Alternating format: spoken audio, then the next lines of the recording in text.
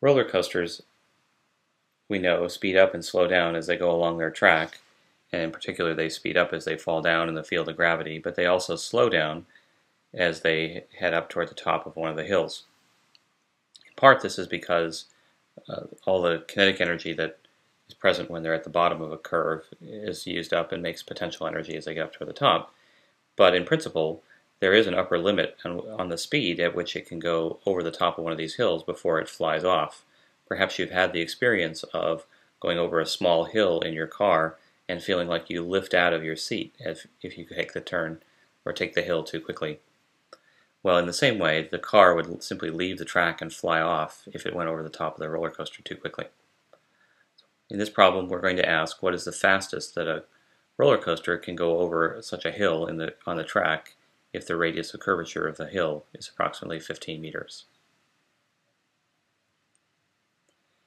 When the roller coaster is at the top of the hill, there are two forces acting on it. There is the normal force, which points straight up from the track holding the, the roller coaster up, and there is gravity pointing straight down. At this time, we would like the roller coaster to execute circular motion, so even if it's going at roughly constant speed during this time, we would like the roller coaster car to be accelerating because the velocity vector will follow that circular path, and that's known as centripetal motion. So when we set up our Newton's laws, we must say that mass times acceleration equals all the sum of the forces in this direction, and we would like there to be an acceleration vector which points straight down so that the car is pointing, the car's acceleration is pointing back toward the center of the circular path. So we would say mass times the centripetal acceleration, which is v squared over r, equals the sum of the forces in the y direction.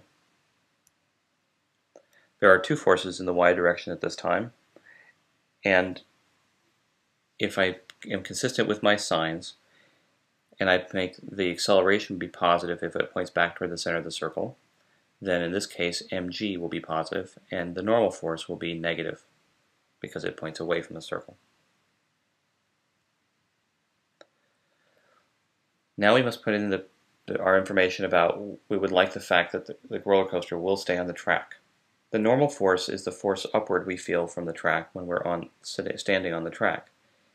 If we're about to fly off, we don't feel the track anymore, and this normal force is set to zero.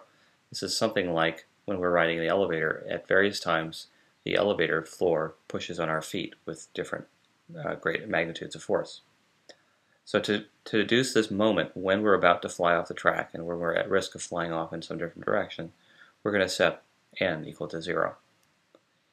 In this case, mv squared over r is just equal to mg because the n is 0 on the right hand side. The mass of the car cart will cancel out, so it doesn't matter what whether we have a heavy roller coaster car or a light one. And we find that the velocity at maximum is the square root of g times r, radius of curvature. If I plug in that g is roughly 10 meters per second squared, and r, the radius of curvature in this problem, is 15 meters, then we have that v is the square root of 10 times 15, and that works out to be about 12 meters per second, or 27 miles per hour if one converts units.